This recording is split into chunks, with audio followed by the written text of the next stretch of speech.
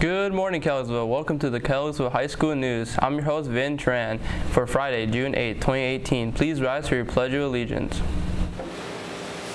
I pledge allegiance to the flag of the United States of America and to the republic for which it stands, one nation, under God, indivisible, with liberty and justice for all.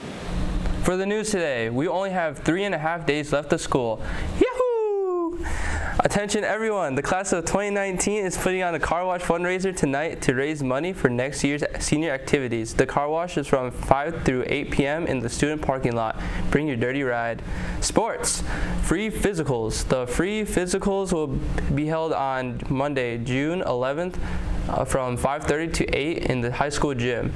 Sign up in the office and pick up a physical form in the athletic director's office that you will need to have filled out. Tennis tourney highlights. The Fun Rocket tournament was a riot yesterday. Thank you to all the spectators that went out to have a good time with us. The fun continues today as we move into the finals. Hannah Williams and Mr. Anderson fought hard against Coach Lee and Aiden Sloma, but lost 8 to 4. Mrs. Lahif and Bree had a fierce victory against Chow Win and Anthony Win and won 8-2. Past seniors, Caleb Spratling and Zach Merdinsky versus Gage Nicholson and Chase Williams had an ongoing battle, but victory went to Gage and Chase. Also, Mr. Skittles and his son Elijah are also undefeated in the tournament. Who will take first place today? Come and find out at the middle school. Tournament starts at 3.30. Are you a soccer fan? You're in luck. The FIFA World Cup starts next week. June 14th in Russia. Germany looks to repeat while Mexico looks to surprise the world. The opening match is Russia versus Saudi Arabia at 11 a.m.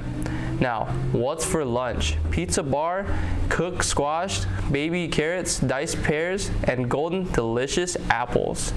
Now, for the quote of the day, don't pursue the things you are passionate about. Bring your passion with, with you in everything you do. That's all we have the news for today.